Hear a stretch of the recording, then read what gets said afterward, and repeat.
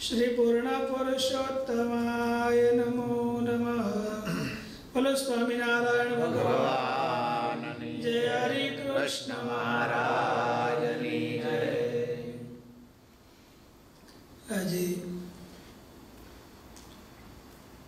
અધિક માસનો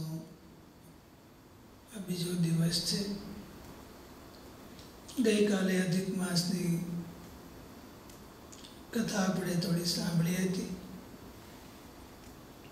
અધિક મહિનામાં ભગવાનની કથાનું શ્રવણ કરવું એ ખૂબ મહત્વનું છે.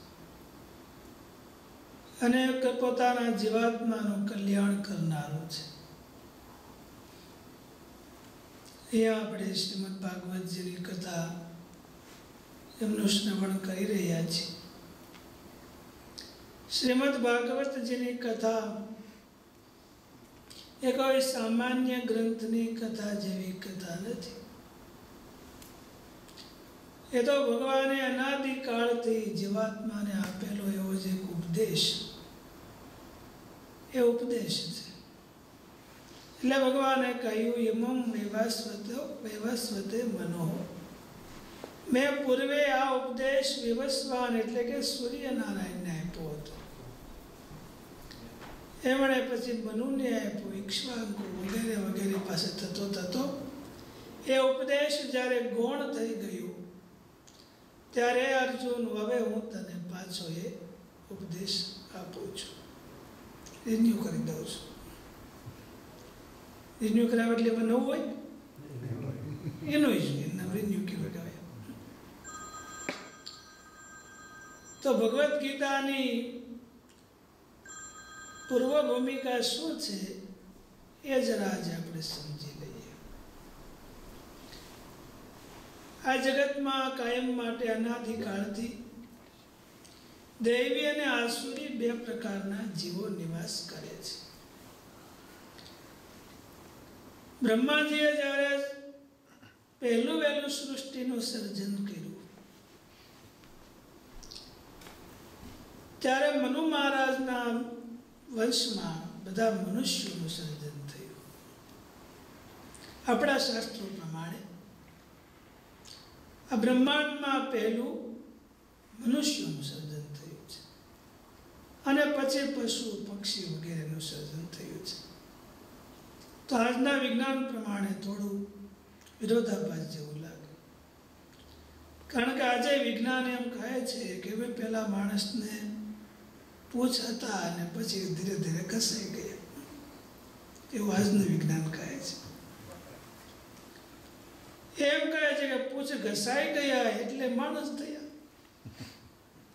હશે ભાઈ ચાલો, ગમે એમ તો માણસ થયા. પણ એને તમે ઉલટી રીતે પણ કરી શકો. કે ભાઈ પેલા બધા જ મનુષ્યો હતા જેમ જરૂર પડી એમ પૂછડાવી ગયા. કે ભાઈ થઈ શકે? હું કેવું તમારું?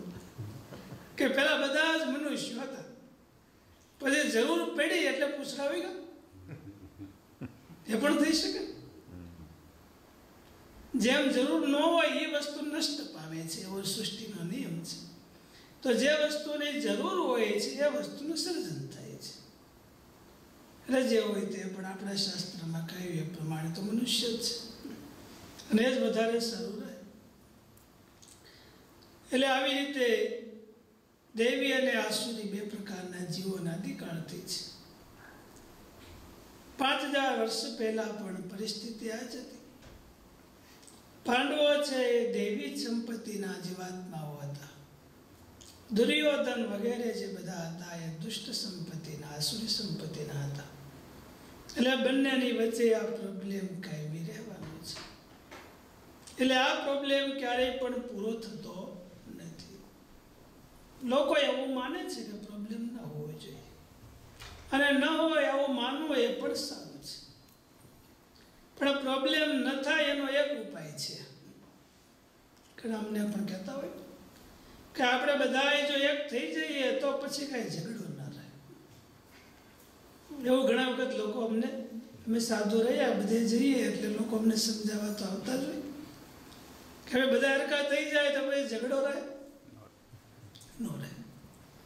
તો બધાને સરખા કરવા હોય તો એક વાત થાય. શું?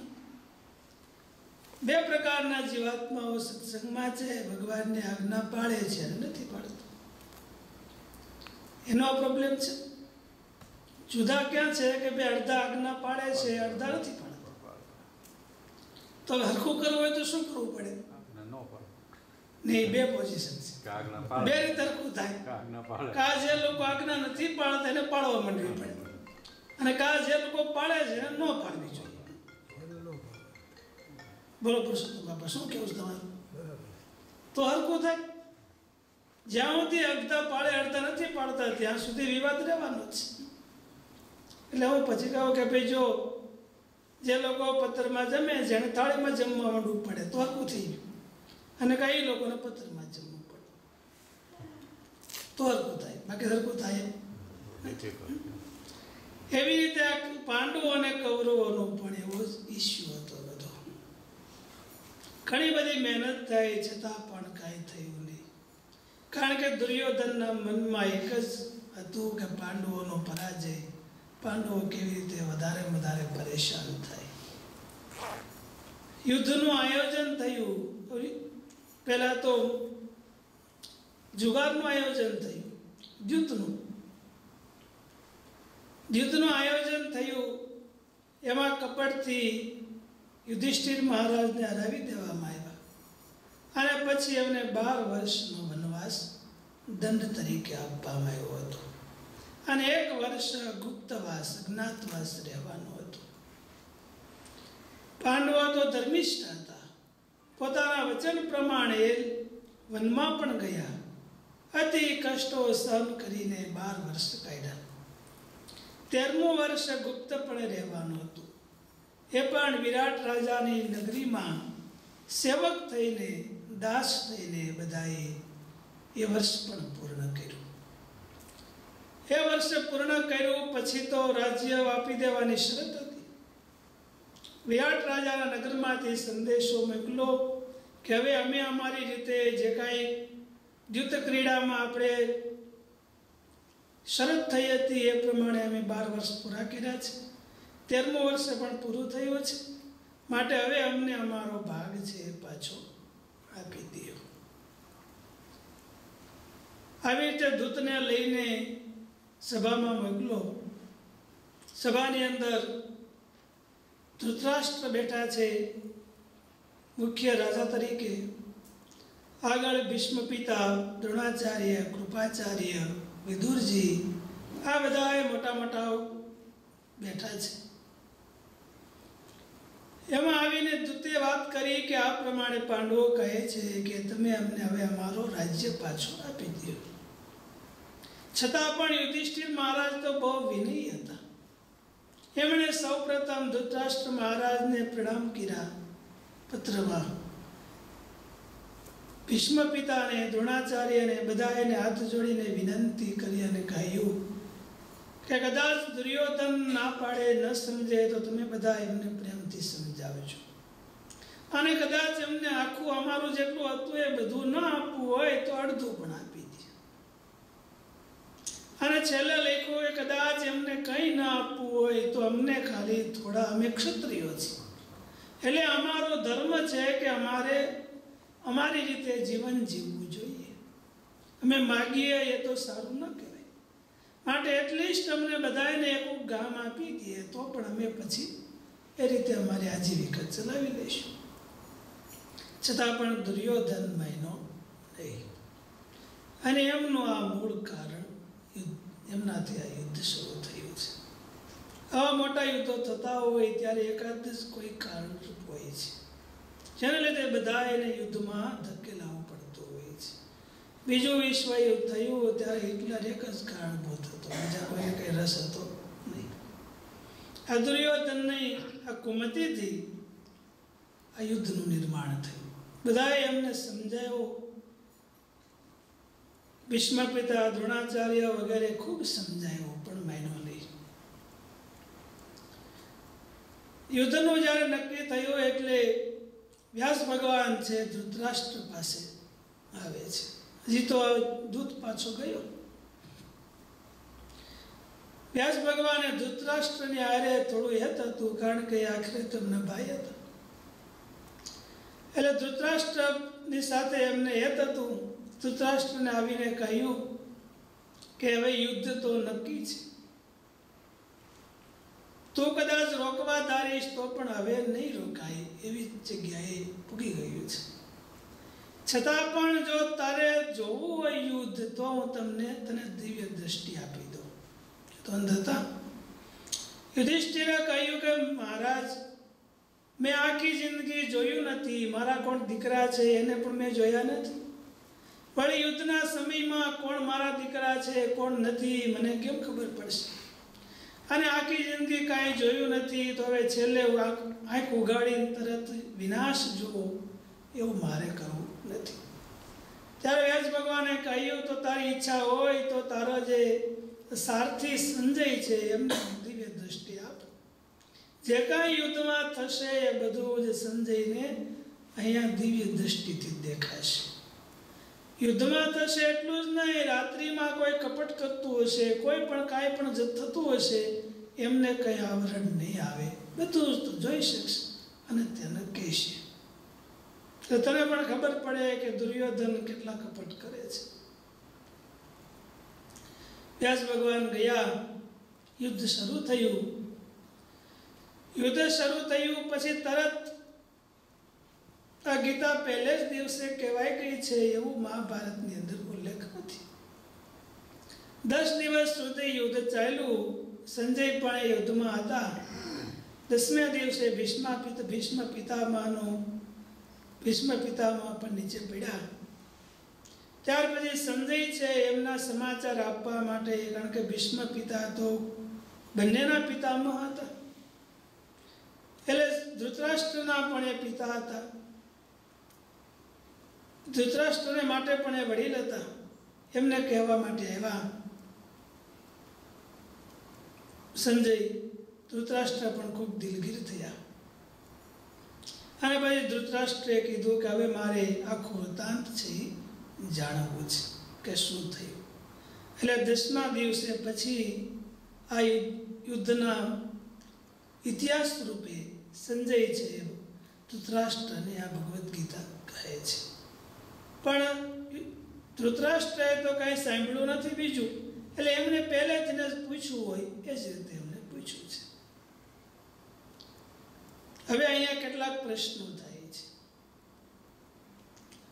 આ યુદ્ધની અંદર ગવાયેલી આ ભગવદ્ ગીતા છે. તો ભગવાન એમના લીડર તરીકે, પાંડવોના લીડર તરીકે ભગવાન છે. તો પહેલી વાત એ છે કે સારા માણસો હોય એમણે યુદ્ધ કરવું. યુદ્ધનો મિનિંગ થાય ઝઘડો. સારા માણસો એ ઝઘડો કરાય ન કરે. ચોખ્ખો નિયમ હશે અને ઝઘડો કરી હારા માણસો કહેવાય? ન કહેવાય. તો પાંડવ હારા માણસો હતા કે નહીં? તો ફેર ઝઘડો કામ કેવું કરાવ તો જવું પડે હે?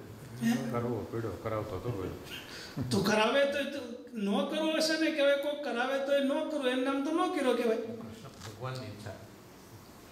તો એમાં પણ એક વિવેક છે. અને જો યુદ્ધ કરવું તો શા માટે કરવું? અને શરૂ કર્યું તો પછી કેટલું કરવું? બધા એવો પ્રશ્ન છે? બધા એવો પ્રશ્ન છે. અને ટાળવું તો કેટલે સુધી ટાળવું? આ બધા એક પ્રશ્ન છે. કાલો ભાઈ આવ્યા, હા આવ્યા છે યુદ્ધ કરવા માંડવાનું? કહેવાનું ભાઈ જોયા ભાઈ દેવ એવું ન સારા માણસોએ બને ત્યાં સુધી યુદ્ધ ન કરો. એટલે ભગવાને પણ એમના જીવનથી બતાવ્યું. ભગવાન તો છપ્પન કોટી યાદવના નાયક હતા. પાંડવો એમને ભગવાન માનતા હતા. ભીષ્મ પિતા, દ્રોણાચાર્ય, કૃપાચાર્ય બધા વિદુરજી બધા એમને ભગવાન માનતા હતા. છતાં પણ એક નાના એવા દૂતનું કાર્ય, નોકરનું કાર્ય ભગવાને કર્યું. લ્યો વિષ્ટિ કરવા માટે, સમાધાન માટે. શા માટે કર્યું ભગવાને?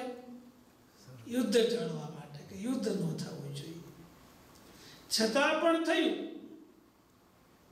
છતાં પણ યુદ્ધ થયું તો ભગવાન એમાં ઉદાસીન થઈ જવા જોઈએ કે ભાઈ હવે કાંઈ ચાલો મારે તો આમાં કાંઈ ભાગ લેવો નથી.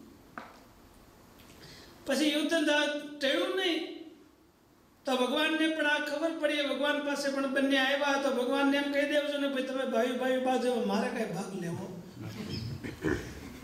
કવિ ભાઈ છે કરુણ પાંડવ બે ભાઈ છે તો? મારે કાંઈ યુદ્ધમાં ભાગ લેવો નથી. તો ભગવાને વળી પછી ત્યારે એમ ન કીધું. ત્યારે હું કીધું કે હું યુદ્ધ નહીં કરું. અને મારી સેના તમારી ભેગી આવશે. દુર્યોધને સેના માગી ભગવાન યુદ્ધમાં આવ્યા. આ યુદ્ધ શરૂ તો થયું શરૂ થયું. એટલે પછી અર્જુનને ના પાડી કે ભાઈ, હવે મારે યુદ્ધ નથી કરવું. તો ભગવાને શું કીધું? ખારું કઈ વાંધો આમથી મારી ઈચ્છા તો હતી જ. મારી ઈચ્છા તો આમથી હતી જ નહીં. કારણ કે સમજાવવા તો ગયા હતા નહીં જેમની ઈચ્છા હોય તો સમજાવો કે સમજાય. પહેલાં જ તો કે તે ના પાડી છે, તો આપણે કરી જ દો ચાલો. સમજાવવાનું શું હોય વળી? એવું તો કંઈ હતું નહીં. એટલે પછી યુદ્ધ જ્યારે મંડાણ થાય, પછી યુદ્ધ બંધ રખાય નહીં. તો યુદ્ધ થવા માંડ્યું, તો પછી કેટલું કરવું? એમાં કંઈક પ્રોબ્લેમ થાય. કેટલો પ્રોબ્લેમ કે સામે ભીષ્મ પિતાને મારવાનો પ્રસંગ. અને શા માટે કરવું એ આપણે પહેલો પ્રશ્ન તો હજી પાછો અધૂરો રહી ગયો છે. શા માટે યુદ્ધ કરવું ભગવાનને વળી કેવું યુદ્ધ ગમે છે? યુદ્ધ ન કરવાનો મિનિંગ શું છે? કે અનર્થ ન થાય એટલો. અનર્થ ન થાય એવો છે? યુદ્ધ થાય તો અનેક પ્રકારના અનર્થ થાય. અર્જુનને આપણે જ બે બી હતી. પણ માનો કે તમે યુદ્ધ ન કરો અનર્થ થાય એમ હોય તો? તમે જીવીએ શા માટે? ખાવા માટે ખાઈએ શા માટે? જીવવા માટે પણ ખાઈએ તો મરી જઈએ તો? તો ખવાય? તો ન ખવાય. આ એવી વસ્તુ છે કે યુદ્ધ ન કરવું શા માટે? તો અનર્થ થાય. હવે યુદ્ધ ન કરવાથી અનર્થ થાય તો શું કરવું યુદ્ધ કરો. તો યુદ્ધ કરો. અનર્થ બંને દૂર કરવા એ યુદ્ધ યુદ્ધનો મિનિંગ છે. યુદ્ધ કરવું ન કરવું એ મેઇન વસ્તુ નથી.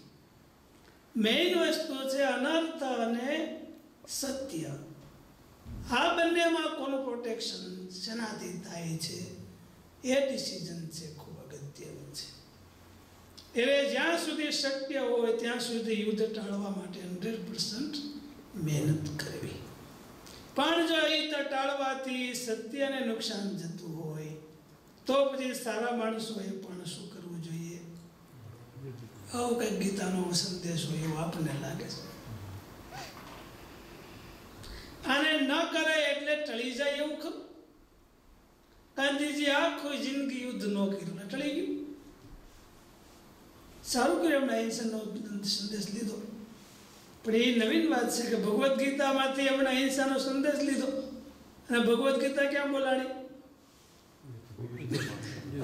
યુદ્ધમાં બોલાડી બોલ અને તળે ન યુદ્ધનો સંદેશ લીધો ખૂબ પવિત્ર કહેવાય.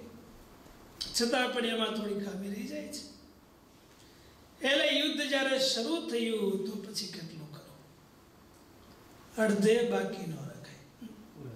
કા હાવ શરૂ જ ન કરવું જોઈએ અને શરૂ કર્યા પછી મુશ્કેલી આવે તો પણ વચ્ચે સ્ટોપ કરાય નહીં. જો વચ્ચે સ્ટોપ કરો, તો એ ડબલ પ્રોબ્લેમ કરીને આપણી પાસે પાછી આવે છે કાશ્મીરનું યુદ્ધ શરૂ થયું, વચ્ચે જવારે બંધ રાખ્યું. આજે હાઠ વર્ષે પણ હજી પ્રોબ્લેમ સોલ્વ થયો.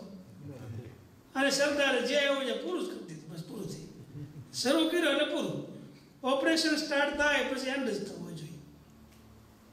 તો એ સુખદાયક થાય છે. એટલે અર્જુને ઘણી વખત આનાકાની કરી, ભગવાન, હવે આટલું રહેવાની ભગવાન કે નહીં? છેડે પુગાડો હવે છેડે પુગાડી તો ગીતાજીનું રહસ્યમાંથી આવું કંઈક સમજવામાં પણ આવી શકે છે. હવે ભગવાનને રસ છે. ભગવાને પણ યુદ્ધમાં ભાગ બહુ લીધા છે. તો ભગવાનને જ યુદ્ધમાં રસ છે કોઈ પણ અવતાર જોવો તો લગભગ યુદ્ધ વગેરે બાકી નથી. રામા અવતાર જોવો તો એમાં પણ યુદ્ધ થયું છે. કૃષ્ણ અવતારમાં પણ યુદ્ધ થયું છે. હિરણ્યકશિપુને તો સ્પેશિયલ મારવા માટે ભગવાન આવ્યા. તો ભગવાનને શેમાં રસ છે? પછી બીજી એક ખૂબી એ છે કે ભગવાન જ્યારે યુદ્ધ કરે તો યુદ્ધ કરીને એકનો વિનાશ કરે. તો એમની ગાદી ખાલી પડે. તો ભગવાને ગાદી આપે કોને? એ પણ જોવા જેવું છે. રામાવતારની અંદર પેલા આપણે હિરણ્યકશિપુનું લઈએ. એ બહુ જૂનું પહેલેથી લેતા જઈએ. કે હિરણ્યકશિપુને ભગવાને નૃસિંહ અવતાર ધરીને એમનો નાશ કર્યો. એમને માર્યો. પછી ગાદી કોને આપી પ્રહલાદ કોણ હતા? ભગવાનના ભગત કે એના દીકરા હતા હિરણ્યકશિપુ એમના દીકરા હતા. તો એમને હિરણ્યકશિપુને મારીને વળી દીકરાને ગાદી આપી કે બાપુ ગાદી આવે તો વાંધો.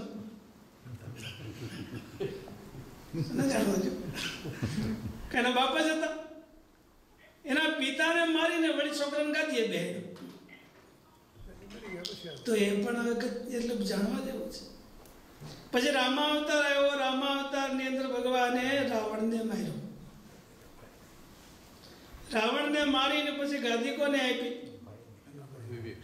તો લક્ષ્મણને આપ્યું તો વાંધો હતો.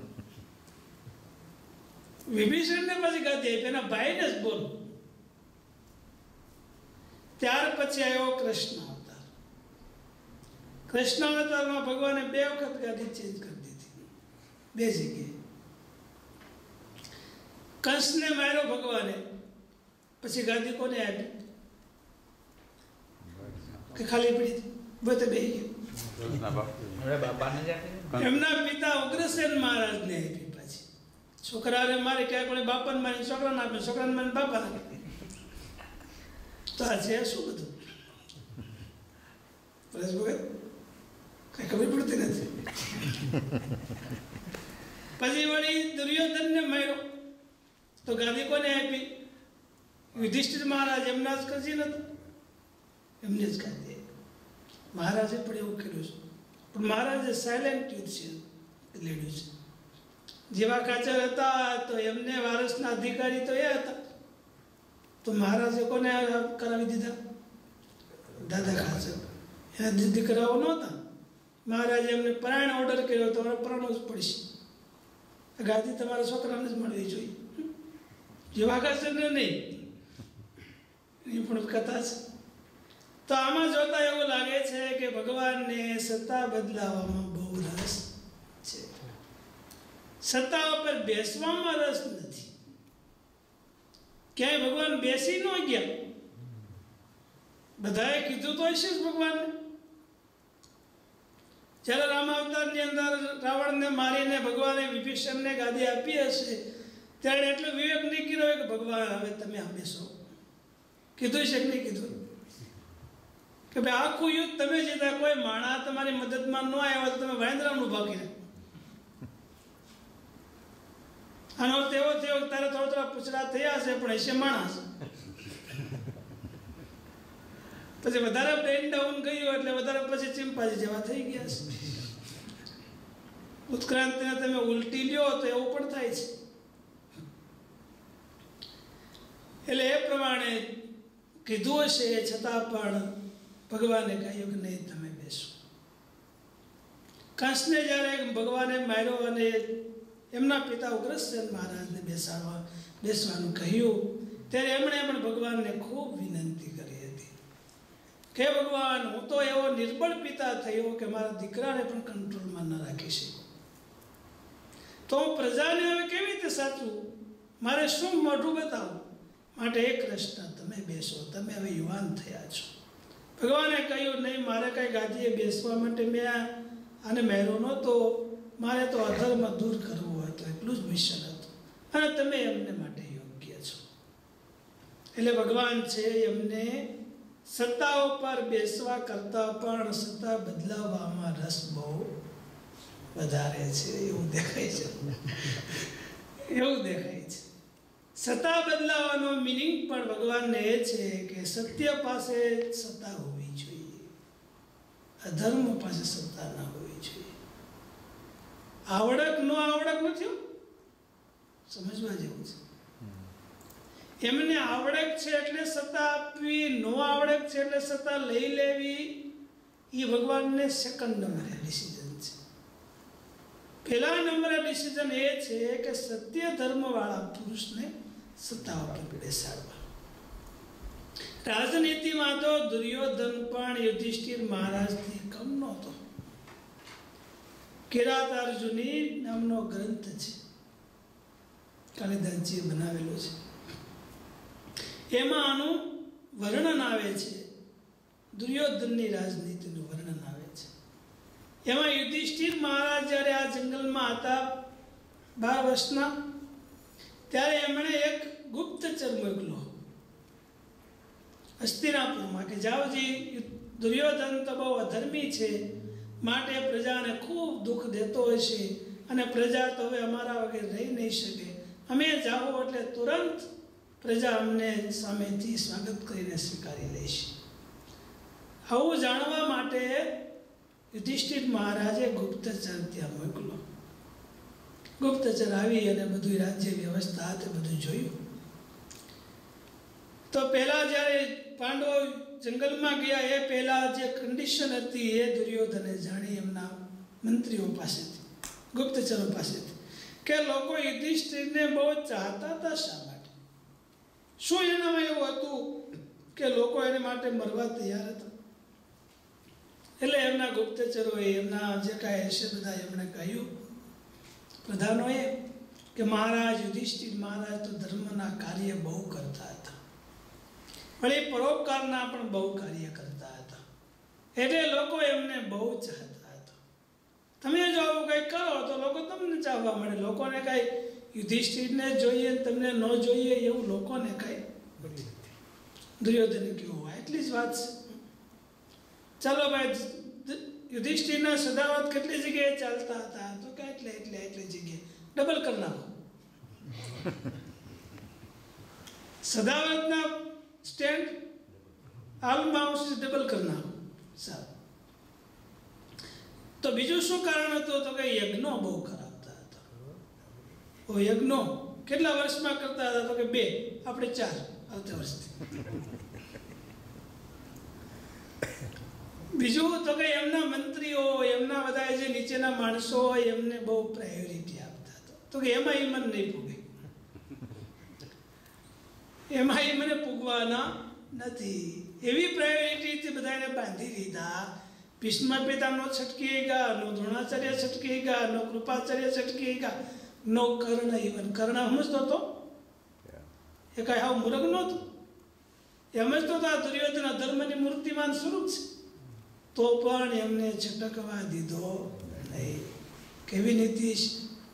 અને યુધિષ્ઠિરમાં યુધિષ્ઠિર મહારાજ હગા મામાવાળા પક્ષમાં વહી ગયા સગા મામાવાળા પક્ષમાં જઈને બે ગયા તો એમને કેવી એમની પાસે આવડે કહીશ તો મહાન હતા પણ યુધિષ્ઠિર મહારાજ જે આવડક હતી એની કરતા પણ લૌકિક આવડક છે એ દુર્યોધનને જાજી હતી એટલે ગુપ્તચરે આવીને કહ્યું યુધિષ્ઠિર મહારાજને કે મહારાજ, હવે છે તમે આવ્યા પછી થોડું એવું લાગતું હતું કે લોકોને દુઃખ થશે, પણ લોકો હવે તમને સાવ ભૂલી ગયા છે. કારણ કે તમારાથી જાજુ કાર્ય કરવા માંડ્યો છે. યુધિષ્ઠિર થયું અરે, તો તો આપણું કાંઈ હાલશે નહીં. એટલે ગુપ્તચર બહુ બુદ્ધિશાળી હતા. એમણે કહ્યું, કંઈ ચિંતા કરવા જેવું નથી. શા માટે? તો કે એમનો ઈરાદો, એમની નીતિ બહુ ખોટી છે. કામ બહુ સારા છે પણ એમની નીતિ બહુ ખરાબ છે. એમને એક જ ઈચ્છા છે કે ભગવત છે તમને પરેશાન કરવા માટે આગળ નહીં ચાલી શકે. એમનો કોઈ પણ રીતે નાશ થશે. એટલે ભગવાન આવું કંઈક કરે છે કે જે સત્ય પાસે સત્તા રહેવી જોઈએ. કારણ કે સત્તા એવી વસ્તુ છે કે જેમની ઉપર જવા બેઠા હોય એવું નીચે એટમોસ્ફિયર તૈયાર થાય છે. એટલે ભગવાન છે, ધર્મના સ્થાપક છે, ધર્મના રક્ષક છે. એટલે એમને ધર્મ પ્રવર્તનનું કાર્ય બહુ એમ કેમ પ્રકારે કરવું ગમે છે. એટલે આ બધામાં ભગવાન ભાગ લે છે. એટલે ભગવાનને કાંઈ ઝઘડો ગમતો નથી. આપણે ગમતો ભગવાન થોડો ગમતો. પણ ફેર એટલો કે આપણે ગમે એટલા માથામાં ખાઈએ તો ઝઘડો કરીએ. અને ભગવાન કે ઝઘડો આપણે એક ન કરીએ અને જો કરીએ તો સામેના માથામાં લાગવું જોઈએ આપણે લાગવું જોઈએ. નહીં.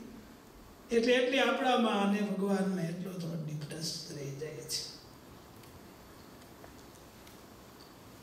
હવે ગીતાજીની વાત કરીએ. ગીતાજી છે એ વિવિધ દ્રષ્ટિકોણથી સમાજમાં એમનું મૂલ્યાંકન થાય છે.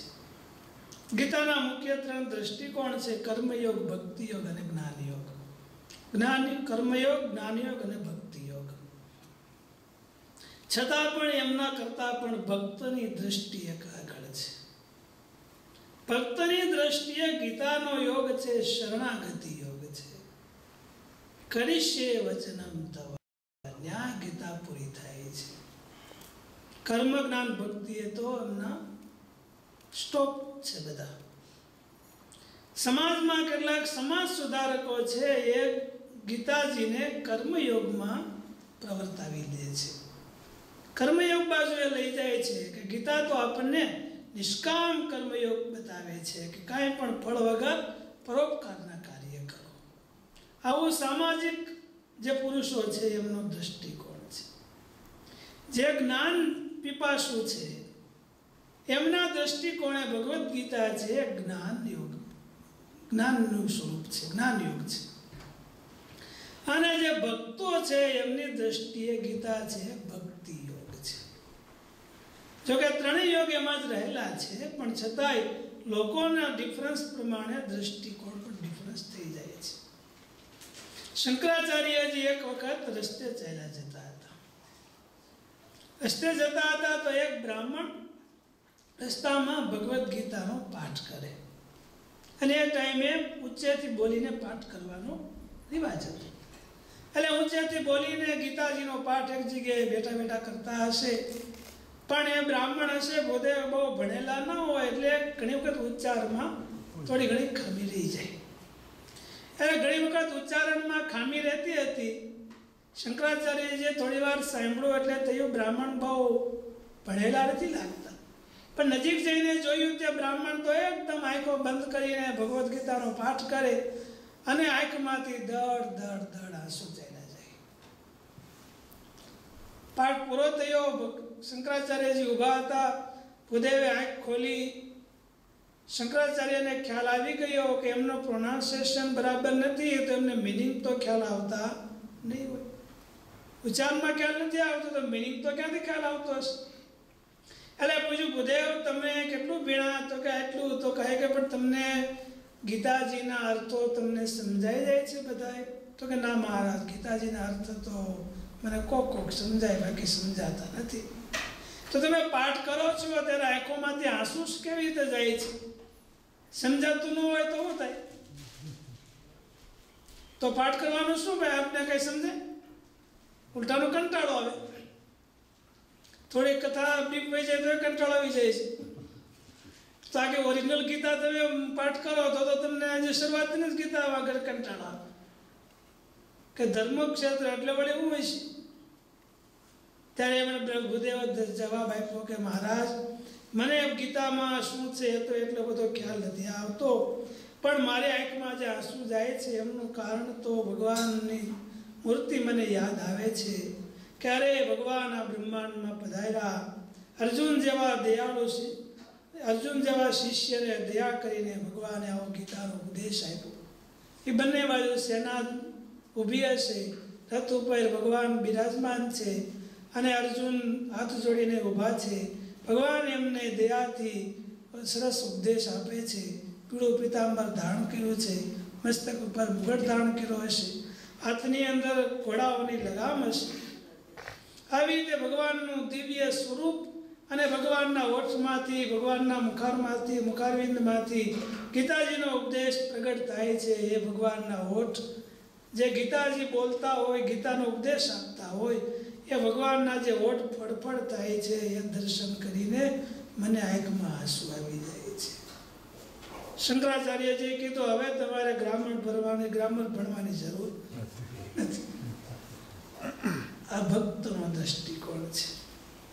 એટલે આપણે જે અહીંયા ભગવદ્ ગીતાની જે કથા કરીએ છીએ, એ એટલા માટે કરીએ છીએ કે આપણને શ્રીજી મહારાજમાં ભગવત ભક્તિ જાગે અને ભગવાનમાં એવી દ્રઢ શરણાગતિ જાગે, ભગવાનની એવી દ્રઢ નિષ્ઠા જાગે. એ આપણી ભગવદ્ ગીતાનો અર્થ છે. અને એ જ આપણે માટે હોવો જોઈએ. એટલે ભક્તો માટે ગીતાજીનો અર્થ થાય છે શરણાગતિ. કરીશ્ય વચન. હવે ગીતાના શબ્દનો અર્થ શું થાય છે? ભગવદ્ ગીતા છે એમાં સંસ્કૃતની દ્રષ્ટિએ ગીતા છે સ્ત્રીલિંગ શબ્દ છે. તો એમના વિશેષણ છે શ્રીમદ અને ભગવત તો એ બે છે એ પુલિંગમાં છે. તો જો ગીતા સ્ત્રીલિંગમાં હોય તો ઓલા બંને પણ એમાં જ હોવા જોઈએ. વિશેષણ તો એવું છે જેમ આપણે બોલીએ કે સ્ત્રી તો આપણે કહીએ એવી સ્ત્રી ભાઈ તો આપણે શું કહીએ? એવી ભાઈ એમ કહીએ? એવા ભાઈ એમ કહીએ આપણે. અને ગલુડિયા કંઈક બીજું પ્રાણી હોય તો આપણે એને શું કહીએ? એવું પ્રાણી એમ કહીએ છીએ. જો કે એના છોકરાને એવું કંઈ હોતું નથી. આપણે કંઈક તારા ડેડી ક્યાં છે? તો કે મારું ડેડી ઇન્ડિયા ગયું છે. મારું ડેડી ઇન્ડિયા ગયું છે. એના બાપા કહેતા, "ઓલું ક્યાં ગયું છે? તો કે કૂતરું ડોગી હાઉસમાં ગયું છે. તમે આપણે ડેડી ક્યાં ગયું છે? તો કે ઇન્ડિયા ગયું છે. એટલે એ વાત જુદી છે.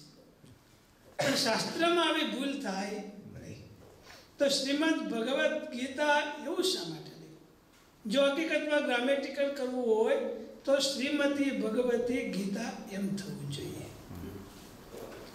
તો એટલા માટે શ્રીમતી ભગવતી ગીતા નથી કર્યું કે અહીંયા ગીતાની પ્રાયોરિટી નથી, ભગવાનની પ્રાયોરિટી છે.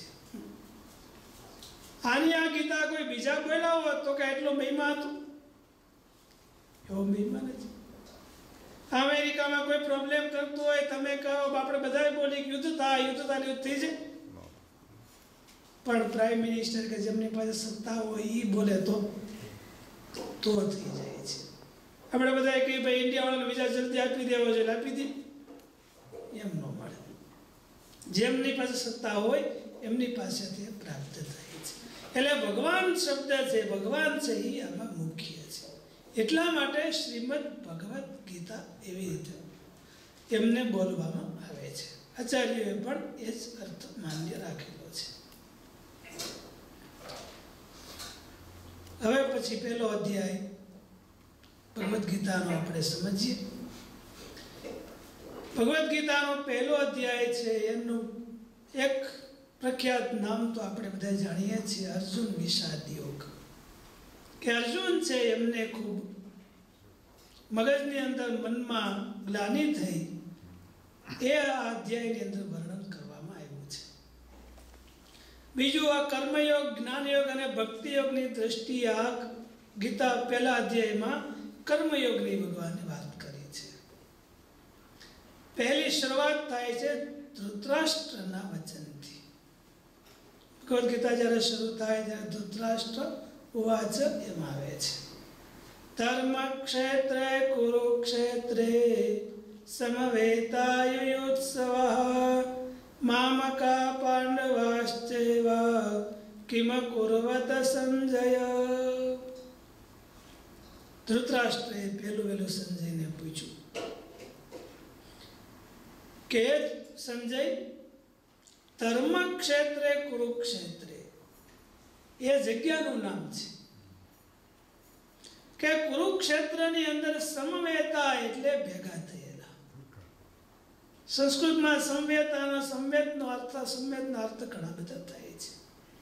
કે સંવેદ એટલે કાયમ માટે જે હારે રહેનારા હોય એમને પણ કહેવાય સંવેદા એટલે ભેગા થયેલા હોય એમને પણ સંવેદ કહેવાય. અહીંયા બંને બે ત્રણ અર્થો આમાં ફિટ બેસી જાય છે. એક તો કૌરવો અને પાંડવો કાયમ ભેગા રહેનારા હતા. એટલા માટે પણ સંવેદ કહેવાય છે. અને વળી એ ભેગા પણ થયા હતા યુદ્ધમાં. એટલા માટે પણ સંવેદતા યુદ્ધ સવાહ એટલે યુદ્ધની ઈચ્છા વાળા હકીકતમાં યુદ્ધની ઈચ્છા કોઈને હતી નહીં. એક જ જણાને હતી. દુર્યોધનને હતી. છતાં પણ અહીંયા ધૃતરાષ્ટ્ર એમ કીધું કે યુદ્ધ સભા બધા ભેગા થયા છે. એ બધાની ઈચ્છા છે. શા માટે? પોતાના દીકરાઓ પર એમને હળાવવા દીધી નથી. કોઈ રતો પાણી છોકરો હોય ને બધા બાંધતો હોય તો એનો બાપા હું કે? કે છોકરા બધા બાંધે છે. એમ જ કેમ? કેમ નો કે? કે મારો છોકરો વધારે બાંધે છે એમ કે? એવું ન એમ ધૃતરાષ્ટ્ર પણ દુર્યોધનનું પોતે ઢાંકે છે કે મારા છોકરાની ઈચ્છાથી બધા ભેગા થયા છે એમ નથી. એ બધા પોતપોતાની ઈચ્છાથી ભેગા થયા છે. મામકા પાંડવાશ્ચૈવ, એમાં તો પછી ચરમસીમા આવી જાય છે. કે મારા અને પાંડવોના, એટલે કોઈ પાંડવો છે પારકા હતા એ પણ એમના ભાઈના જ દીકરાઓ હતા. અને પાંડુ મહારાજ તો મૃત્યુ પામેલા હતા એટલે એ બધા છે એમની યુદ્ધ ધૃતરાષ્ટ્ર નિશ્રામાં જ મોટા થયા હતા. તો પણ એણે એમ કહ્યું કે મામકા પાંડવાશ્ચે. મામકાનો અર્થ થાય છે કે મમ, મમા. મારા જે છે, મારા છે. ખૂબ જેને બમત્વ હોય, એને ઓટોમેટિક આવો શબ્દ એમના હૃદયમાંથી નીકળી જાય છે. પછી કહ્યું કે કુમ કિમ કુરવત એ બધા ત્યાં શું કરે છે? તો ત્યાં હું કઈ ના કઈ પાર્ટી કરવા ગયા તો? એમણે એમ પૂછ્યું કે કેમ કરે છે? કેમ યુદ્ધ કરે છે? એમ ન પૂછ્યું. તો બધા મજામાં છે કે નહીં એમ? એવું નથી. અંદર કંઈક બીજું ભેગું હોય ત્યારે એમ થાય. કે ભાઈ અહીંયા સભામાં છે તો કે સભામાં શું કરે છે? એમનો મિનિંગ કંઈક જુદો થાય. કે ઓલા ભાઈ છે ને ત્યાં મિટિંગમાં ગયા તો એ મિટિંગમાં શું કરતા હશે એમનો મિનિંગ શું થાય? કંઈક નથી કરવા જેવું કંઈક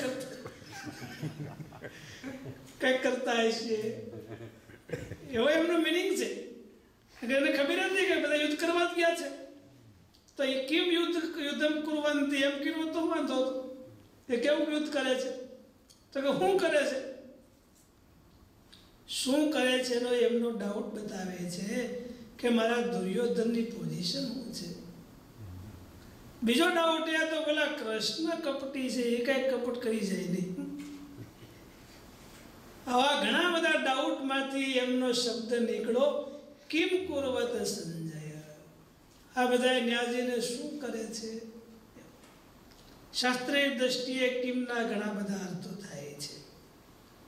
કિમનો અર્થ થાય છે કે પહેલા તો કે શું અર્થમાં પણ એમનો અર્થ થાય છે. ભગવાન ને બધા ત્યાં છે. એટલે આવી રીતે કુરુક્ષેત્રની અંદર બધા ભેગા થયા.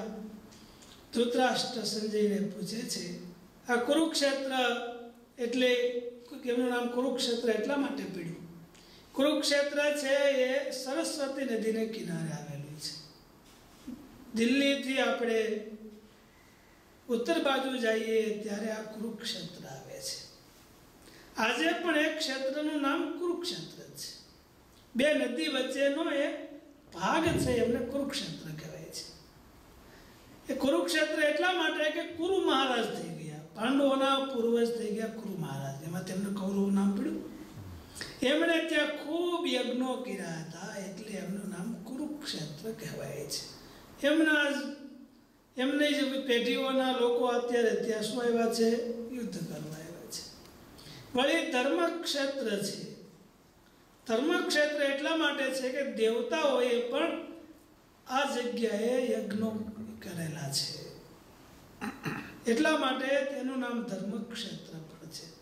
ધર્મક્ષેત્રમ દેવયજનમ એવું શાસ્ત્રમાં લખ્યું કે જ્યાં દેવતાઓનું યજન પૂજન વગેરે થયું છે, એ ધર્મક્ષેત્ર છે. ક્ષેત્રનો અર્થ થાય છે ભૂમિ. તો ભૂમિ છે, એ ઝઘડા માત્રના ત્રણ કારણ છે. આપણે ગુજરાતીમાં કહેવાય કે જળ જમીન અને જોરવા ત્રણ ઝઘડાના છે. અને આ ત્રણને છોડી દો પછી લગભગ ઝઘડો કોઈથી પાસે આવે. બોલો, એ જ શેના માટે ઝઘડો થયો છે? જમીન માટે. તમે કોઈ પણ ઝઘડા જુઓ તો આ ત્રણમાંથી ચોથું કારણ હોતું નથી. સંતો જ્યારે મહારાજ ધામમાં પધાર્યા પછી રઘુવીરજી મહારાજ વગેરે આચાર્યો ખૂબ પવિત્ર હતા. તો લગભગ મને એમ છે વ્યાહીલાલજી મહારાજ વખતની કંઈક કંઈક વાત છે. તો વડતાલ સભા મંડપ આજે આપણે જોઈએ છીએ. સભા મંડપમાં અત્યારે તો ત્યાં બહુ સંતો રહેતા. ત્રણસો ત્રણસો, ચારસો સંતો રહેતા. અને બધા એક જ સરખા નિયમ ધર્મ પાડતા હતા. એટલે એમ નહોતું કેવું પડતું કે આપણે બધા કરી નાખવું જોઈએ ત્યારે એવું જરૂર નહોતી. અને સભા મંડપમાં ત્રણસો જેટલા સાધુઓ બેઠા હોય વળી આચાર્ય પડે, વખતના નીચી દ્રષ્ટિ બધું સંયમ, નિયમ એ બેઠા હોય. એ ટાઈમે એક અંગ્રેજ ત્યાં વડતાલનું એ વખતે મોટું મંદિર કહેવાતું. એટલે એ પણ વિઝિટ કરવા માટે આવ્યા. એમને તો જોવા દર્શન તો કંઈ હોય નહીં. આવ્યા એટલે મંદિરના નિયમ પ્રમાણે અંદર ગયા અને હાથ જોડ્યા, જોયું બધું એમ કર્યું છે પછી નીચે ઉતરા નીચે ઉતરા ત્યાં જ્યાં સામે સભા મંડપ દેખાય. એ મોટી સાધુઓની સભા બેઠેલી. શાંતિથી પિનડ્રોપ સાયલન્ટ કથા વાર્તા થાય બધા સાંભળે.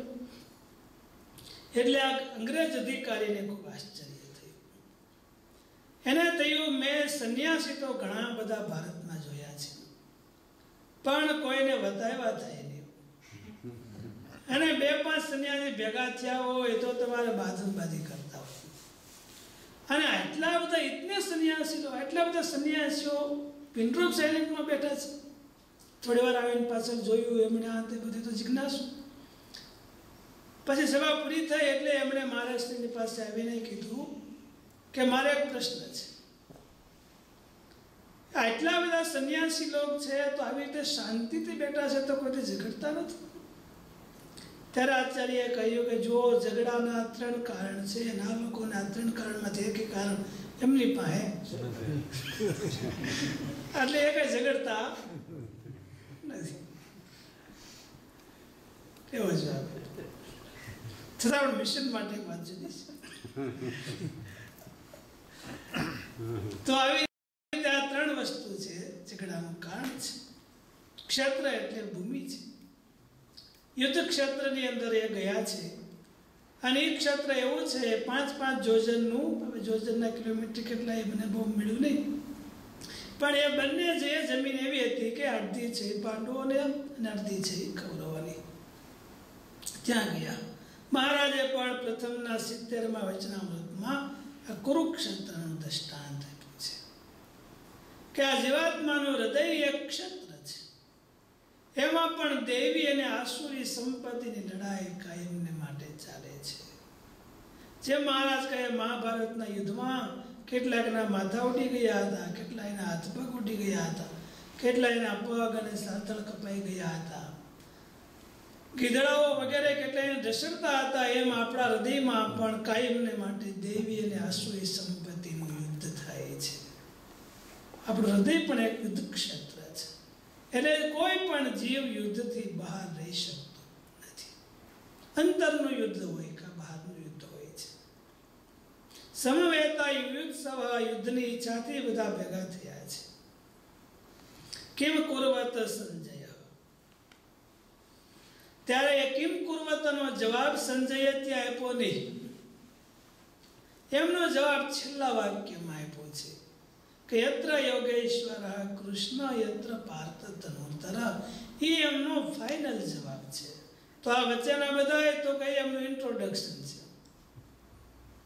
આપણે કઈ શું કરે છે? તો કે ત્યાં વલ્લાભાઈ બેઠા છે વલ્લાભાઈ બેઠા છે ઓલા કરે છે, શું બધા તો કઈ હવે તમને કહું છું. એમ વચ્ચેનું બધું ઇન્ટ્રોડક્શન જવાબ પછી છેલ્લે આપવામાં આવ્યો છે. હવે બીજા શ્લોકમાં તરત સંજય કહે છે. દ્રષ્ટવા તો પાંડવાનેકમ વ્યુઢમ દુર્યોધનસ્તદા આચાર્યમુપસંગમ્ય રાજા વચનમબ્રવીત હે યુધિ, હે ધૃતરાષ્ટ્ર, હે રાજા પહેલા પહેલા તો દ્રષ્ટવા તું, તુનો મિનિંગ થાય છે આશ્ચર્ય આશ્ચર્ય. અહીંયા કે તું શબ્દ છે એ કંઈક વિલક્ષણતા બતાવે છે. કે દ્રષ્ટવા તું પાંડવા નિકમ, અનિકમ એટલે એમનું સૈન્ય. વ્યુઢમ વ્યુઢમ એટલે અલગ પ્રકારની રચના, વિચિત્ર રચના, કે સમજાય ને એવી રચના. હે ધૃતરાષ્ટ્ર તમારા પુત્ર દુર્યોધન. દુર્યોધન એમાં દુર્યોધનસ દુર્યોધન રાજા એવું એમનું વિશેષણ આપ્યું. કે દુર્યોધન છે એ પાંડવોની અલગ પ્રકારની, વિચિત્ર પ્રકારની એમના સૈન્યની ગોઠવણી જોઈને તત્કાળ આચાર્ય ઉપસંગમ્ય રાજા વચનમ અબ્રવીત કે જોઈને તરત દ્રોણાચાર્ય પાસે ચાલ્યો ગયો. એમનો મિનિંગ શું થયો? કે એમને કંઈક ડર લાગી ગયો હતો. કઈ બહાર નીકળે તમારો છોકરો તરત તમારા પાસે દોડીને આવી જાય, તો તમે શું કહો? હવે શું થયું? શું થયું? એવી સૈન્ય જોયું ખાલી એમનું, ત્યાં તો એમને ડર લાગી ગયો અને તરત આચાર્ય પાસે જઈને રાજા વચનમ અબ્રવીત સંજય પણ બહુ એકદમ સ્પષ્ટ વક્તા હતા. એટલે જેવું જોઈએ, એવું જ એવું જ વાક્ય એમણે અમે ધૃતરાષ્ટ્રને આપી દીધું છે. કે રાજા વચનમ અબ્રવીત દુર્યોધન રાજા, એમણે આવી રીતે કીધું. દુર્યોધન રાજા હતો. રાજા તો ધૃતરાષ્ટ્ર હતા. તો દુર્યોધનને શા માટે કીધા? કીધું નહીં રાજાનો મિનિંગ થાય છે રાજતે વિરાજતે ઇતિ રાજા જે કાંઈ કરે નહીં અને ટેસડા કરે એમને રાજા કહેવાય આપણે તમે રાજા પટમાં વર્તતો લાગે છે તો. એમ છે સંજય કઈ જેવો તેવો નથી. એમને કઈ ભગવાન એને કઈ ગીતા બોલાવડે નહીં છે રાજા વચનમ અબ્રવી. તમારો છોકરો તો હું છે? હાવ રાજા છે રાજા પાટમાં જ રહેતો. તમે આંખોથી તમારો છોકરો રાજા પાટમાં એ. એટલે રાજા થવાનો છે? એ જવાનો છે, ઊંધે થવાનું. નષ્ટ થવાનું છે. હે ધૃતરાષ્ટ્ર મહારાજ તમારો દીકરો રાજા પાટમાં વર્તે છે. પણ અટાણે બધું રાજા પાટ ક્યાં વહી ગયો ખબર પડી? ખાલી આમ જોઈ હજી તો. સૈન્ય જોયું ત્યાં એમના ગાઢ છે, તૂટી ગયા છે. અને દ્રોણાચાર્ય પાસે જતો રહ્યો. હકીકતમાં ડરવાની જરૂર નહોતી. વિચાર કરો તો પાંડવો પાસે સૈન્ય હતું, સાત અક્ષોયણી અક્ષોયણી. અને કૌરવો પાસે અગિયાર. અગિયાર. તો સાત જેમ અગિયાર નો તફાવત હતો, તો બીવાની જરૂર શું હતી? બીવાની જરૂર કરી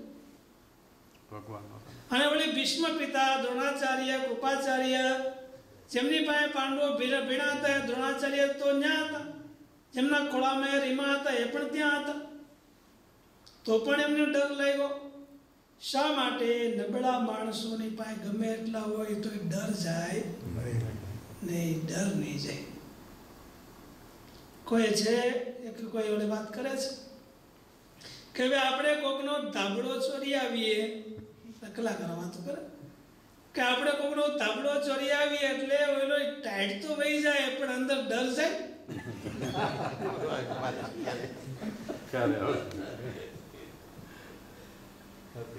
કોઈ ધાબળો ચોરી આપણે ઓઢી લઈએ એટલે ટાઈટ તો વહી જાય પણ અંદર ડર બેસી જાય. કે ઓલો આવ્યો તો ઠેકું હું લાકડીઓ તને મારશે. ઈ કોઈ રીતે જાય. એમ દુર્યોધને આ જેમ તેમ કરીને ભેગું તો કરી લીધું, પણ ડર ગયો અધર્મી માણસોને ક્યારેય પણ ડરથી મુક્તિ હોતી નથી. એટલે એમને ડર લાગી ગયો છે કે મારા એ ભોગી જશે આપણે શા માટે? પાંડવોની પાસે બે વસ્તુ હતી. ધર્મ હતો અને ભગવાન હતા. જેમની પાસે ધર્મ અને ભગવાન બે હોય છે, એમને ક્યારેય ડર લાગતો નથી. અને આ બે જરા જીવનમાં ન હોય, એવો આજ સુધી દુનિયામાં સૃષ્ટિથી અત્યાર સુધી કોઈ થયો નથી કે જેમને ડર ન લાગ્યો હોય. રાવણ જ્યારે સીતાજીને ઉપાડીને લંકા તરફ ચાલ્યો, રાવણની તો તિલોકીમાં આંખ વાગતી હતી. દેવતાઓ પણ એમનું નામ લઈ શકતા નહોતા. પણ જ્યારે જંગલમાં ઉપાડીને જતો હતો સીતાજીને, ત્યારે રસ્તામાં પાંદડું હલે તો પણ એમને ડર લાગતો હતો. અરે અહીં રામ અતાણા છે. કે મારી નાખે. એટલે એમને ડર લાગ્યો છે દુર્યોધન. અટાણ સુધી એમણે શું કર્યું છે? ધર્મ જ કર્યો છે. એટલે એ હવે મૂર્તિમાન એમને ફળ દેખાય છે. એટલે ડરીને તુરંત આચાર્ય પાસે જઈને કીધું છે. જ્યારે અર્જુને પણ બે સૈન્ય જોયા, તો અર્જુને પણ કૃષ્ણને કીધું કે સૈન્યોર મધ્યે રથમ મેં સ્થાપય. એક બાજુ ઊભા થા. તો કે અહીંયા નહીં, વચ્ચે લઈ લ્યો. જોઈ લઉં છું. કોણ મારી સામે આવે છે. અને ઓઈલો વચ્ચે છે તો દ્રોણાચાર્ય ઓલ બાજુ ભાઈ ના ભાગી ગયો, છેટો ભાઈ ગયો. એટલો ફેર પડી ગયો છે. એટલે રાજા કીધું છે. આચાર્ય ઉપસંગમ્યા. એટલે તુરંત આચાર્ય પાસે જઈને આ પ્રમાણે કહેવા લાગ્યો છે. હવે જે કહે છે એ આપણે કાલથી સાંભળીશું. સહજાનંદ સ્વામી. મહારાજ શ્રીપતિ શ્રીધરમ સર્વદેવેશ્વરમ. પરમાત્મજમ વાસુદેવમ હરે માધવમ કેશવમ કામદમ કારણમ. શ્રી સ્વામિનારાયણ નીલકંઠમ 小学